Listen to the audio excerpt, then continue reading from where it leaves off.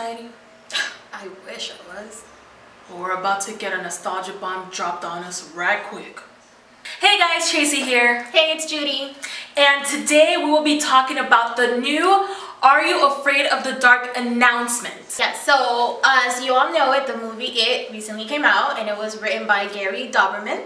And he is now going to be writing for Are You Afraid of the Dark? For all you those who remember that show in Nickelodeon, yep, the time has finally come.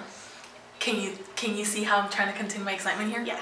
I can't. She's been talking about it all day. Yeah. Driving me crazy. Yeah. We're like, Literally, it will be on, I think it was at 4 o'clock. You will come home from school and you had to watch. It's like, we had to. Of course, she was scared. She couldn't even watch the beginning of the whole song because she'll hide. The rocking chair, remember that rocking chair? Was it a doll? it was the rocking chair and, then it was the doll clown. In the basement, yeah. Yeah. She will freak out.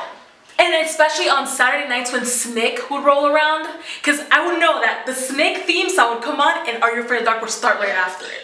It was like you know how your grandma and your mom be watching novellas That was our novella time. Okay, we were just no. It's like Yeah. you were afraid of the dark time. Let's go to our room because you guys are watching your Maria Marimar whatever. You And of call it. course, since I was a child and Judy was a teen, she was scared the Yes. living crap out of me every time we would watch it. But I am so excited that they are bringing it to the big screen because I'm excited of what Gary Dauberman's gonna do to it. yeah. If they're gonna bring old stories from it or they're bringing a brand new fresh story but following the Midnight Society introduction. Yeah. I'm really excited about it because I grew up in those times and then there was times that we will have like a whole campfire thing going on and we'll sit around and tell scary stories because we felt like we were part of that. And now they're bringing it back. It's like, oh my gosh, like I want to take my kids to watch this too, you know, have them have the childhood that I had because now it's like, it's dead. I'm sorry, but bring back all these good shows we had before. It's Exactly. awesome. And I know for sure because um, your kids, which is my niece and nephews, they were talking about it. They're like, oh, everybody in school is talking about it. But obviously they're little, they're scared, just like we were scared when we were little and watching it. Whatever. I was never scared. but I was scared of Are You Afraid of the Dark? Sometimes she would get, but she would never admit it. I was not the one that woke up screaming to a moving Oh, fan. shut up. Hey, in my defense, that moving fan had a skull that looked like Chucky. Alright, and y'all know my history with Chucky.